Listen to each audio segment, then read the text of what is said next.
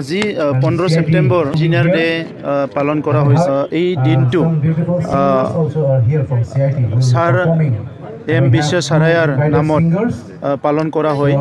যিজনে মানে ভাৰতৰ এজন সকলোৰে শ্ৰদ্ধাৰ এজন ইঞ্জিনিয়াৰ আছিলে।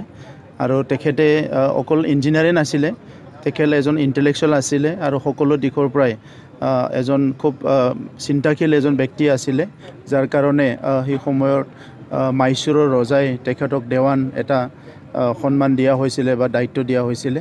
আৰু আজি আমি ভাৰতবৰ্ষখন এটা উন্নত দেশ হিচাপে পাবলৈ গৈ আছোঁ। ইয়াৰ মূল কাৰণটো হৈছে আমাৰ ইঞ্জিনিয়াৰসকল।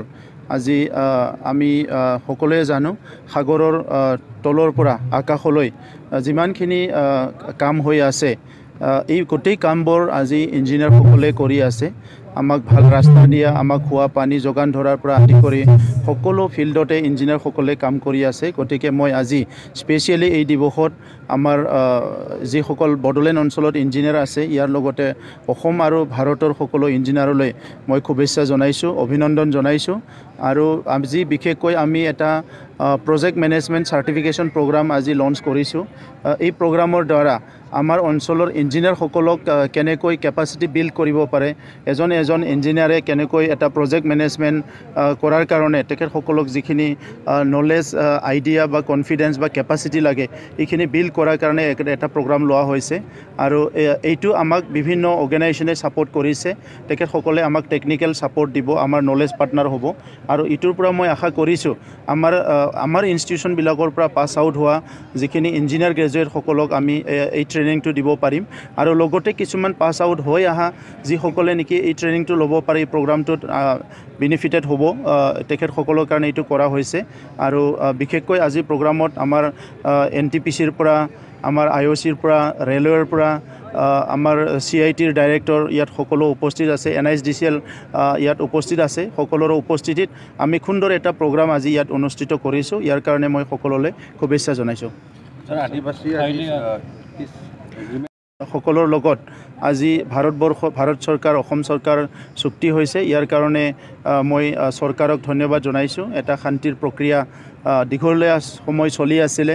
আৰু ইটো বৰ্তমান ভাৰতৰ প্ৰধানমন্ত্ৰী নৰেন্দ্ৰ মোদী ডাঙৰীয়া গৃহমন্ত্ৰী অমিত শ্বাহ ডাঙৰীয়া আৰু অসমৰ মুখ্যমন্ত্ৰী হিমন্ত বিশ্ব ডাঙ শৰ্মা ডাঙৰীয়াৰ নেতৃত্বত এইটো এটা ফিনিচিঙত আনিলে। ইয়াৰ কাৰণে মই ধন্যবাদ জনাইছোঁ।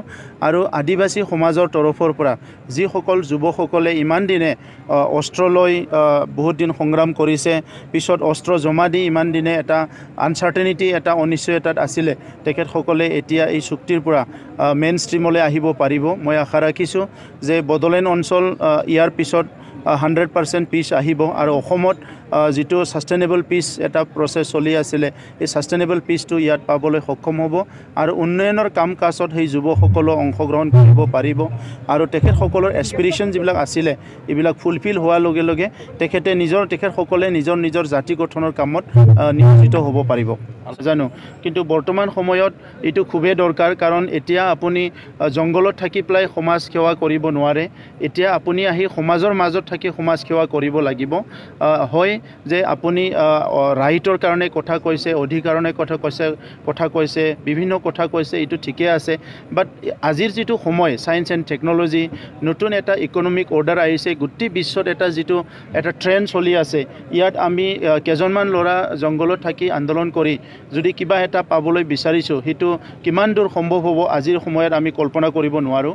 গতিকে আজি আমাক ভাল ভাল ইনষ্টিটিউশ্যন লাগে ভাল ভাল ইণ্ডাষ্ট্ৰি লাগে আমাৰ ল'ৰা ছোৱালী কোৱালিটি এডুকেশ্যন পাব লাগে ভাল ভাল কেৰিয়াৰত যাব পাৰিব লাগে আৰু সমাজৰ অভাৰঅল যিটো আমাৰ প্ৰটেকশ্যন এইটো ভাৰতৰ কনষ্টিটিউশ্যনে দিব।